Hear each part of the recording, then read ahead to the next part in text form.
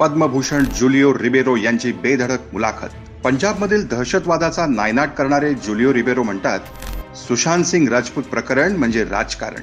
हा पॉलिटिकल झालेले आहे म्हणजे प्रकरण.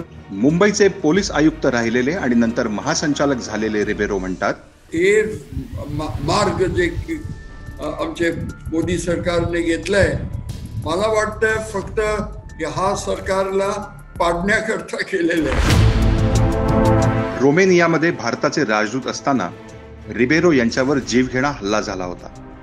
अगदी आंतरराष्ट्रीय पातळीवरही नावाजलेले असे पोलीस अधिकारी रिबेरो केंद्रीय तपास संस्थांच्या राजकीय स्वार्थासाठी होत असलेल्या वापराबद्दल म्हणतात सगळे सगळे इन्स्टिट्यूशन जे आहेत त्यांच्याकडे जे सीबीआय आणि नार्कोटिक्स कंट्रोल ब्युरो सगळ्यांना घातलेलं आहे याच्यात. दुसरं काम नाहीये ते लोकांना.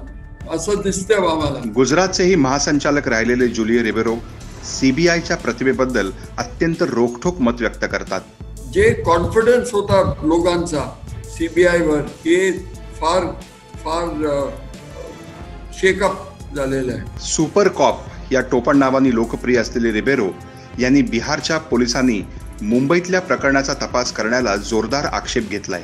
बिहारचे लोक इथं कशाला यायचं?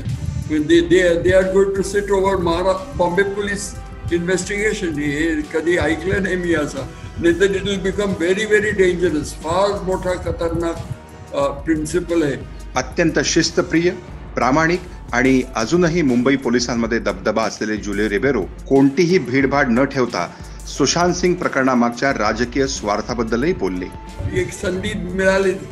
म्हणजे बीजेपीला की ते येण्याला पाडू देऊ. याच मुलाखतीत ते आदित्य ठाकरेंबद्दलही बोलले. ही खळबळजनक मुलाखत पहा सोमवारी रात्री नऊ वाजता लोकमतच्या ग्राउंड झिरो कार्यक्रमात.